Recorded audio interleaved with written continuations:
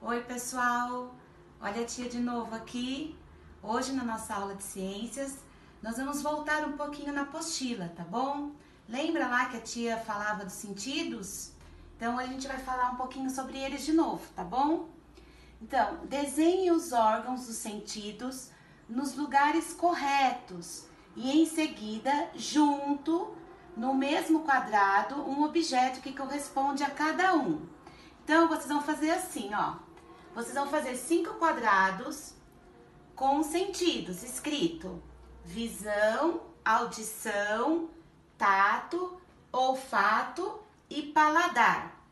E a tia vai lançar um desafio para vocês. Eu quero que vocês tentem escrever sozinhos, tá bom?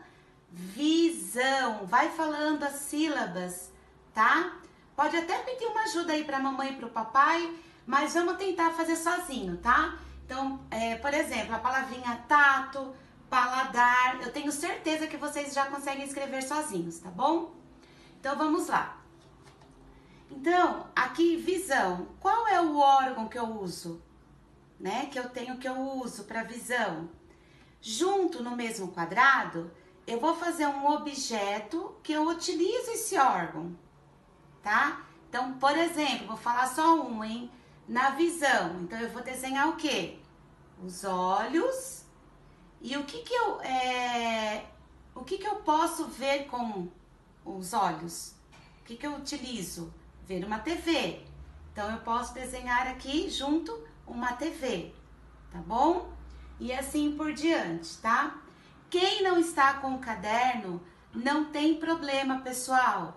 Faz uma folha avulsa quando a gente voltar lá para a sala, a tia dá um jeitinho de colocar no caderno, tá bom? E não esquece de fazer a, o cabeçalho, hein? Instituto Educacional Emmanuel, tá bom? Beijo, pessoal, até a próxima.